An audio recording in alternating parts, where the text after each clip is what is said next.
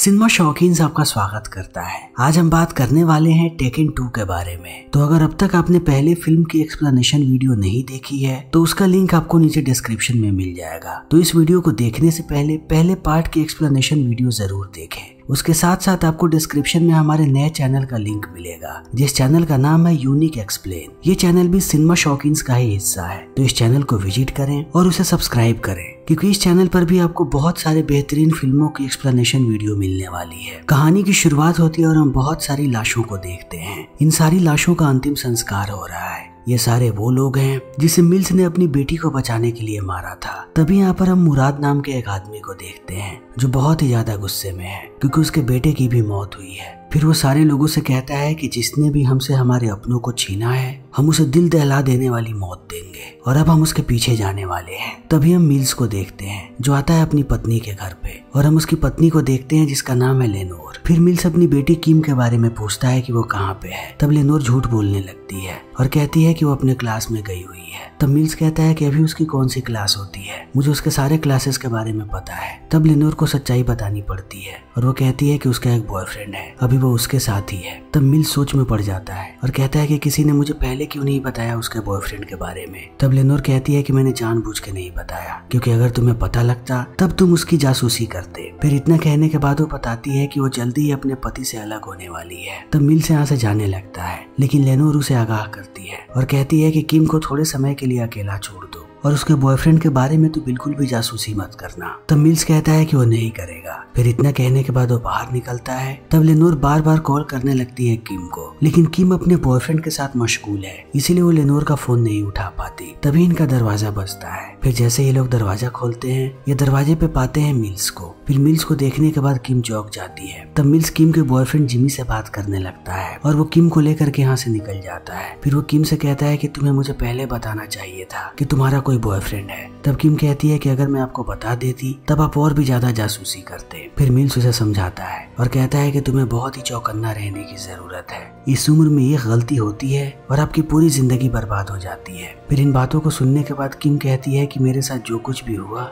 मैं उसे भुला के एक आम ज़िंदगी बिताने की कोशिश कर रही हूँ और मुझे उसमें आपकी मदद चाहिए। फिर इस बात को सुनने के बाद मिल्स कहता है कि मैं तुम्हारे लिए ही यहाँ पर हूँ। और इतना कहते ही वो किम को गाड़ी चलाना सिखाने लगता है। फिर ये दोनों घर पहुँच जाते हैं। तब किम एक आग्रह करती है मिल्स से और कहती है कि अब जो कहोगे मैं वो काम करूँगी। लेकिन प्लीज़ आप जिमी की जासूसी मत करना और उसके बारे में और कुछ पता लगाने की कोशिश मत करना। तब मिल्स कहता है कि ठीक है, लेकिन जैसे ही किम यहाँ से जाती है, मिल्स अपने दोस्त को कॉल करता है और वो जिमी के बारे में सारी चीज़ें पता कर लेता है। तभी हमारे सामने पेरिस का दृश्य आता है और यहाँ पर हम देखते हैं मिल्स के दोस्त को, जिसका कार्ड इस्तेमाल किया था मिल्स ने अपनी बेटी को बचाने के लिए। इसीलिए वो इस आदमी को पीट रहे हैं और उससे पूछते हैं कि बताओ मिल्स कहाँ पे है। तभी आदमी सारी बातें बता देता है कि मिल्स कहाँ पे रहता है और क्या करता है। तभी मिल्स पहुँचता है एक बार फिर से किम को पिक करने के लिए। तब उसे लेनोर मिलती है, जो बहुत ही ज़्यादा दुखी है। वो कहती है कि वो आखिरी कोशिश करने वाली थी अपने पति के साथ, इसीलिए उसने वेकेशन प्लान किया था, लेकिन उसने उसे भी कैंसिल कर दिया। तब मिल्स कहता है कि तुम्हें टेंशन लेने की ज़रूरत नहीं है, मैं इस्तानबुल जा रहा हूँ। अगर तुम चाहो तो मेरे साथ आ सकती हो। तुम और किम दोनों।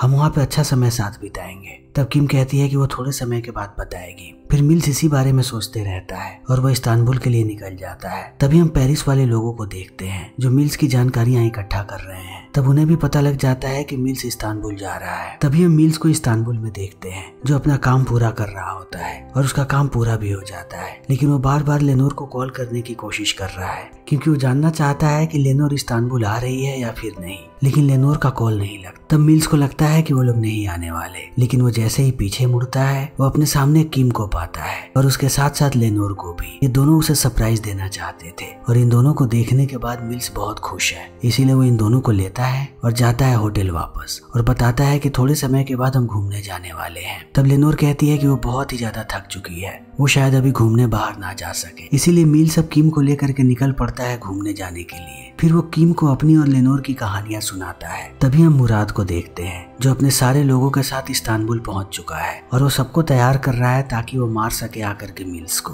तभी सुबह सुबह हम देखते हैं मिल्स को, जो तैयार होकर के बाहर निकल रहा है, क्योंकि आज वो लेनोर और किम के साथ बाहर जाने वाला है। लेकिन जैसे ही वो नीचे लॉबी में आता है, उसे कुछ लोग देखने लगते हैं। ये मुराद के लोग हैं और मिल्स को इन पर शक भी होता है, लेकिन वो इस बात को नजरअंदाज कर देता है, क्योंकि उसका परिवार उसके साथ है। तभी यहाँ पे लेनोर और किम चले आते हैं। तब किम बहाना बनाती है कि वो बाहर नहीं जाएगी, क्योंकि वो चाहती है कि लेनोर और मिल्स ये दोनों एक साथ समय बिताए। फिर इस बात को सुनते ही मिल्स अपने कमरे की चाबी दे देता है किम को और वो लेनोर को लेकर के निकल पड़ता है। लेकिन जैसे जैसे इनकी गाड़ी बाहर जाती है, मिल्स देखता है कि कोई गाड़ी इनका पीछा कर रही है। इसीलिए वो ड्राइवर को कहता है कि हमें बीच मार्केट में लेकर के चलो। तभी हम किम को देखते हैं जो स्विमिंग करने जा रही है। लेकिन चलती गाड़ी में मिल्स लेनोर से कहता है कि थोड़ी देर के बाद मैं गाड़ी रुकवाऊँगा। तब तुम दरवाजे से बाहर निकलना और यहाँ से निकलने के बाद सीधा होटल जाना और वहाँ पर जाकर के सिक्योरिटी से बात करना। और इतना कहते ही वो रास्ता बताने लगता है कि लेनोर कैसे होटल तक पहुंचेगी। फिर जैसे ही एक दुकान आती है, मिल्स गाड़ी रुकवा देता है। वो लेनोर को नीचे उतारता है और उसके साथ साथ ड्राइवर को भी नीचे उतरवा देता है और खुद ही गाड़ी लेकर के आगे बढ़ने लगता है। तब मुराद के लोग उसका पीछा करने लगते हैं और वो मुराद को बताते हैं कि मिल्स बहुत चालाक है। वो उन्हें चकमा देने की कोशिश कर रहा है। तब मुराद कहता है कि उसके परिवार में से कोई नहीं बचना चाहिए। सबको पकड़ करके मेरे पास लाओ। लेकिन अब मिल्स ऐसे ही आगे बढ़ते रहता है और ये लोग उसका पीछा करते रहते हैं और दूसरी तरफ़ लेनोर यहाँ से भागने की कोशिश कर रही है। तभी ये लोग मिल्स की गाड़ी को चारों तरफ़ से घेर लेते हैं। लेकिन जैसे ये लोग उसकी गाड़ी का दरवाज़ा खोलते हैं, उन्हें अंदर कोई नहीं मिलता। और दूसरी तरफ़ हम लेनोर को देखते हैं। वो जिस रास्ते से जा रही थी, वो रास्ता बाहर से बंद है। तभी हम मिल्स को देखते हैं जो भाग रहा है, लेकिन कुछ लोग उसे देख लेते हैं और वो उसे घेरने लगते हैं। तब मिल्स अपना कमाल दिखाता है। वो एक एक करके सबको मारने लगता है और वो आखिरी आदमी को मारने ही वाला होता है। तभी इनका एक साथी यहाँ पे लेनोर को लेकर के आ जाता है और वो उसके सर पे बंदूक तान देता है। तभी मिल्स कॉल करता है किम को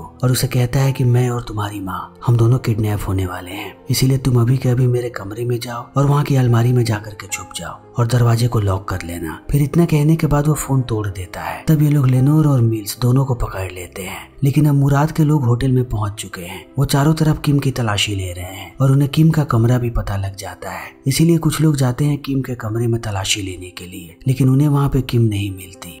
तभी हम मिल्स को देखते हैं जिसकी आँखों को इन लोगों ने बाँध दिया है और वो उसे लेकर के जा रहे हैं। लेकिन मिल्स बहुत ही चालाक है। वो मन में गिन रहा है कि कितनी देर के बाद कहाँ पे टर्न लिया जा रहा है। और टर्न लेते समय उसे कौन सी आवाज़ें सुनाई पड़ रही हैं। तभी किम भाग करके जाती है मिल्स के कमरे में। लेकिन मुराद के लोग अंदर आ जाते हैं। तब वो खिड़की से बाहर निकल जाती है। तब वो खिड़की की तरफ़ आते। उससे पहले किम चली जाती है पास वाले कमरे में। और उस कमरे की अलमारी में जाकर के छुप जाती है। तब ये लोग उस कमरे में भी चले जाते हैं। और अलमारी को खोलने लगते हैं। फिर वो उस दरवाजे को खोलने वाले होते हैं जिसके अंदर किम है। तभी इनका एक साथी गोली चला देता है, क्योंकि पास वाले कमरे में कुछ आदमी थे। तब इस आवाज़ को सुनने के बाद ये लोग दरवाजे को नहीं खोलते और बाहर आने लगते हैं। तब तक होटल की सिक्योरिटी यहाँ पे आ जाती है। तब ये लोग एक एक करके सिक्योरिटी वालों को मारने लगते हैं। फिर इस चीज़ को देखने के बाद ये लोग इमरजेंसी सायरन बजा देते हैं और सायरन को सुनने के बाद अब मुराद के सारे लोगों को यहाँ से भागना पड़ता है। तभी हम मिल्स को देखते हैं जिसे इन लोगों ने बाँध करके रखा हुआ है। तब मिल्स अपने मोजे के अंदर से एक छोटा सा फ़ोन निकालता है। और सबसे पहले वो कॉल करने की कोशिश करता है अपने दोस्त सैम को, लेकिन सैम फ़ोन नहीं उठाता। तब अंत में वो किम को कॉल करता है। फिर किम बताती है कि वो ठीक है, लेकिन उसे चिंता हो रही है अपने माता पिता की।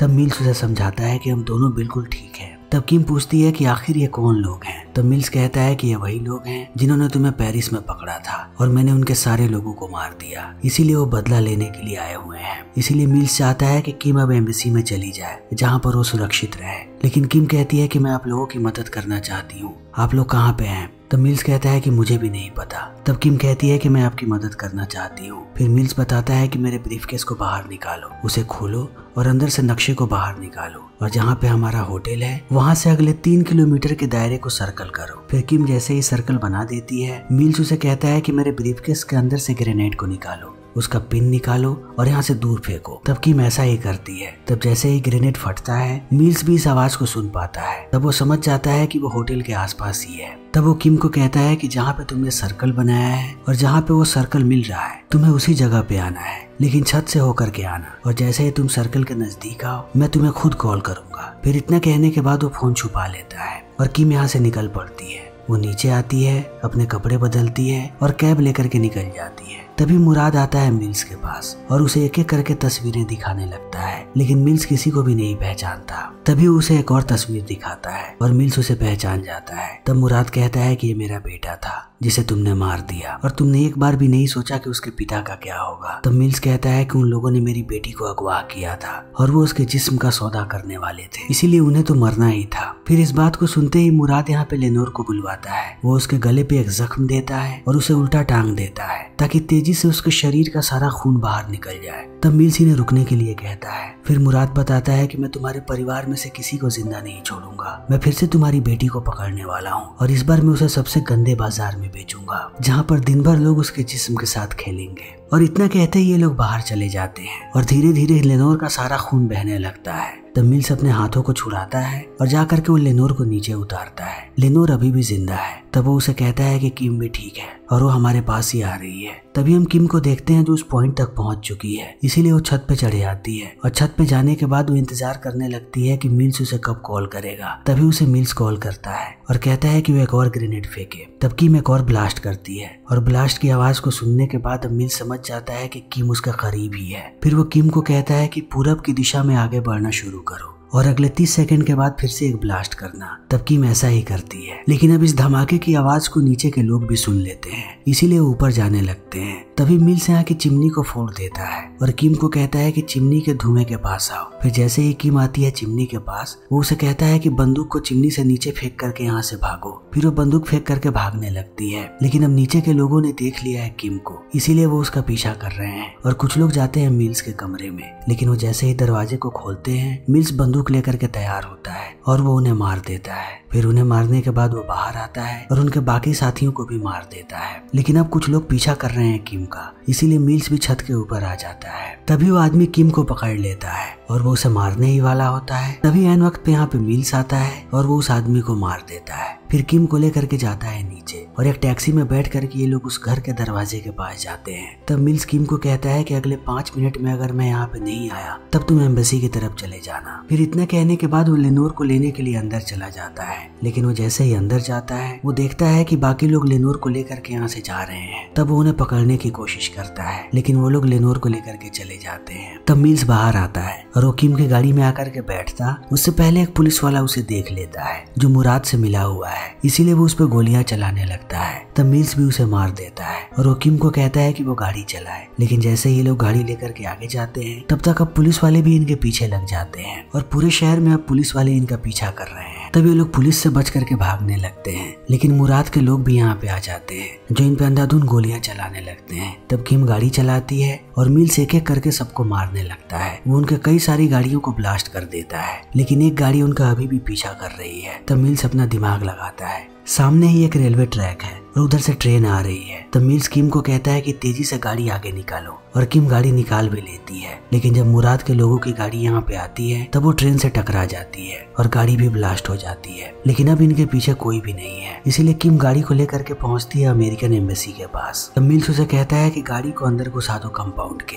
तब वो गाड़ी को अंदर घुसा देती है और सारे लोग उन पर बंदूकें तान देते हैं। तब मिल्स कॉल करता है सैम को और उसे कहता है कि वो एम्बेसी में बात करे। तब सैम एम्बेसी में बात करने लगता है और मिल्स कहता है किम को कि वो जाएगा अब लेनोर को लेने के लिए, क्योंकि लेनोर अभी भी उनके कब्जे में है। तभी हम लेनोर को देखते हैं, जो मुराद के पास ही है। लेकिन अब मिल्स यहाँ से निकल पड़ता है। वो सारे रास्तों को याद करता है। जब वो गाड़ी में था, तब उसने गिना था कि कब कब टर्न आता है, और इसी तरीके से वो उस जगह पे पहुँच जाता है। और अंदर घुसते ही एक एक करके सबको मारने लगता है और दूसरी तरफ़ मुराद लेनोर को टॉर्चर कर रहा है। लेकिन एक एक करके मिल्स ने लगभग उसके सारे आदमियों को मार दिया है। तभी मुराद को गोलियों की आवाज़ सुनाई पड़ जाती है और वो समझ जाता है कि मिल्स इधर ही आ रहा है। इसीलिए वो लेनोर को लेकर के निकलने लगता है और दूसरी तरफ़ मिल्स धीरे धीरे आगे बढ़ रहा है। लेकिन मुराद के बहुत सारे लोग छुपे हुए थे, जो एक एक करके मिल्स के सामने आ रहे हैं। लेकिन वो आते जा रहे हैं और एक एक करके मिल्स सबका खात्मा कर रहा है। फिर उन्हें मारने के बाद वो मार्केट की तरफ़ निकल जाता है। क्योंकि उसे पता है कि वो लोग लेनोर को लेकर के उधर ही जा रहे हैं। तभी वो अपने सामने एक दुकान को देखता है और वो समझ जाता है कि इसी के अंदर लेनोर है। फिर वो भी अंदर जाने लगता है। तब उसे अंदर मिलती है लेनोर। जो बेहोश होकर के नीचे पड़ी है। लेकिन मिल्स उसके पास जाता, उससे पहले एक पहलवान उस पर हमला कर देता है। यह आदमी बहुत ही ताकतवर है, इसीलिए पीटने लगता है मिल्स को। लेकिन मिल्स भी उसे जमकर टक्कर देता है। बहुत देर तक इन दोनों के बीच घमासान लड़ाई होती है, लेकिन अंत में मिल्स उसे मार देता है और उसे मारने के बाद वो लिनोर को उठाता है। लेकिन उस आदमी के फ़ोन से वो कॉल करता है मुराद को। तब उसे मुराद मिल जाता है। तब मिल्स मुराद को समझाता है और कहता है कि अगर मैं तुम्हें मार दूँगा, तब तुम्हारे बचे हुए रिलेटिव मुझे फिर से मारने आएँगे। तब मैं उन्हें भी मारूँगा और ये सिलसिला ऐसे ही चलता रहेगा। लेकिन हमारे पास दूसरा रास्ता है। मैं तुम्हें ज़िंदा छोड़ दूँगा। तुम वापस जाओ और ये कहानी यहीं पे खत्म हो जाए। तब मुराद भी इस बात के लिए मान जाता है। तब मिल्स अपनी बंदूक रख करके जाने लगता है। तभी मुराद उस पर गोली चलाता है। लेकिन मिल्स ने पहले ही गोली निकाल दी थी। इसीलिए वापस आता है और मुराद को मार देता है और अपने परिवार को वापस लेकर के जाता है अमेरिका। तब किम भी अपने ड्राइविंग टेस्ट को पास कर लेती है। तब ये सारे लोग एक डाइनर में सेलिब्रेट करते हैं। तब यहाँ पर किम का बॉयफ्रेंड आता है। तब मिल्स उसका भी स्वागत करता है और ये सारे एक साथ बहुत ही खुश होते हैं। और ये फ़िल्म यहीं पे खत्म हो जाती है। तो दोस्तों, हमारी आज की ये वीडियो यहीं पे खत्म होती है। अगर आपको हमारी ये वीडियो पसंद आई हो तो इसे लाइक करें शेयर करें और चैनल को सब्सक्राइब करें। Thank you